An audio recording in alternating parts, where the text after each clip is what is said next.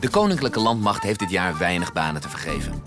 Er wordt alleen geworven voor specifieke functies op de site werkenbijdelandmacht.nl. Maar hoe krijg je geschikte kandidaten naar die website zonder dat het te veel mag kosten? Het thema geschikt-ongeschikt leent zich bij uitstek voor het stellen van vragen. Aan de hand van de gegeven antwoorden kun je namelijk heel makkelijk bepalen of iemand geschikt of ongeschikt is.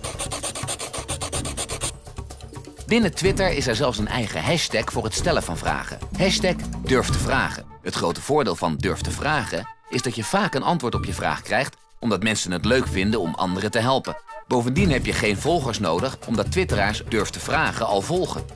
Hierin zagen we een mooie kans om gratis geschikte kandidaten te selecteren voor de specifieke functies bij de landmacht. Hoe zijn we te werk gegaan?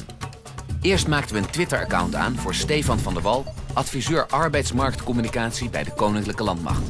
Vervolgens ging hij uiteenlopende vragen stellen die te maken hadden met de specifieke functies met de hashtag durf te vragen. En toen was het wachten op reacties. Was het antwoord onjuist, dan kreeg diegene te horen dat hij of zij ongeschikt was voor de betreffende functie, maar kon diegene zich wel rechtstreeks aanmelden voor de vacature nieuwsbrief Het Vizier. Was een gegeven antwoord juist, dan kreeg diegene te horen dat hij of zij geschikt was en kon er meteen worden doorgeklikt naar de betreffende functie op werkenbijdelandmacht.nl. En dat allemaal voor de prijs van 0 euro.